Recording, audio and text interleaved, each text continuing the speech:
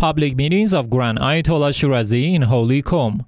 The House of the Grand Ayatollah Shirazi in the holy city of Qom hosted another round of the public meetings of Grand Ayatollah Shirazi.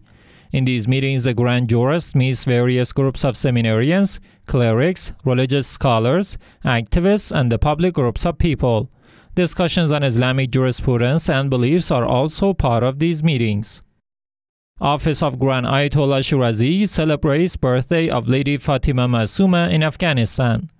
The office of the Grand Shia Jurist Ayatollah Shirazi in Bamiyan city of Afghanistan held a ceremony to celebrate the anniversary of the birthday of Lady Fatima Masoumeh peace be upon her, the noble daughter of the holy Imam Kadhim peace be upon him.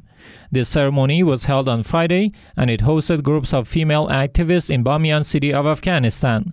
Sheikh Waizi was the main speaker of this event, in which he described some of the exceptional qualities of Lady Fatima Masoumeh. In the end, some gifts and presents were given to the participants. Ali Yassin Mosque celebrates birthday of Lady Fatima Masoumeh in Australia. The Ali Yassin Mosque and Husseiniya in Sydney, Australia, affiliated with the office of the Grand Jurist Ayatollah Shirazi, held a ceremony on Saturday, 1st of the month of Dhul to celebrate the anniversary of the birthday of Lady Fatima Masoumeh, peace be upon her. A few days back, several sheep were sacrificed by this center, and the meat was donated to needy and low income households. This ceremony was held to honor the memory of Imam al Mahdi. May God hasten his reappearance. Nonviolence Incorporation expresses worries over arbitrary arrests in Jordan. Nonviolence Incorporation Free Muslim Association published a public statement in which it expressed its deepest worries of the recent wave of suspicious and baseless arrests by the Jordanian authorities. Here come some parts of this statement.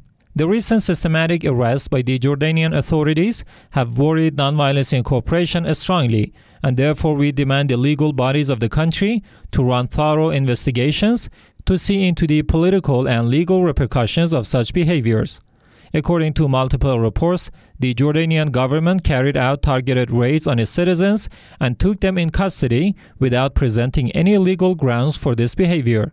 Subsequent to these arbitrary arrests, Jordanian people are extremely worried over the unsurfaced conflicts within the country. Nonviolence Incorporation urgently calls on the Jordanian authorities to enlighten the public about these arrests as quickly as possible. Furthermore, the country's authorities should take into account the harsh consequences of igniting political rift and conflict and jeopardizing the social stability and democracy in this country.